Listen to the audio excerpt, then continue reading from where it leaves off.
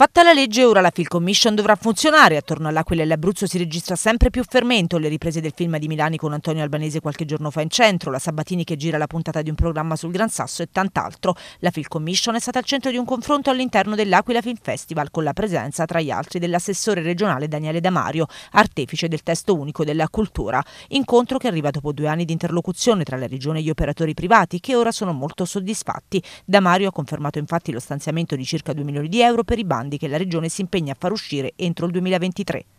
Sì, allora l'incontro che c'è stato si è inserito all'interno delle nostre attività, noi da un paio di anni, da quando abbiamo avviato il nostro progetto Abruzzo Film Industry, siamo scesi tra virgolette in campo per spingere, per pungolare eh, la regione affinché si arrivasse alla costituzione dell'Abruzzo Film Commission, eh, quindi eh, abbiamo fatto un po' da cerniera e tra l'altro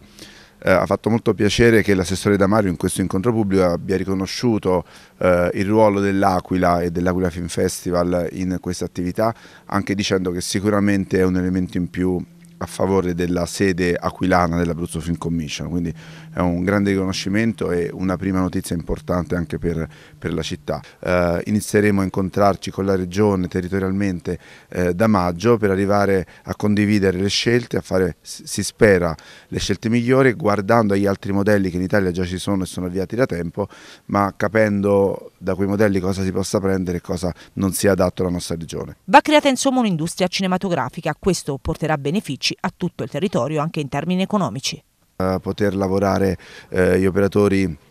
sul territorio e a cascata anche tutto ciò, tutto ciò, che è manovalanza o che è supporto, ristoranti, alberghi, eh, elettricisti, falegnami e magari nel corso degli anni creare anche uno sviluppo ancora maggiore. Si accenna per adesso all'idea di un cineporto, insomma riuscire eh, ad unire eh, i set che l'Abruzzo offre naturalmente anche ad un'organizzazione, un'offerta di servizi e poi magari col tempo anche a delle infrastrutture eh, che possano radicare ulteriormente sempre di più eh, l'industria cinematografica in Abruzzo.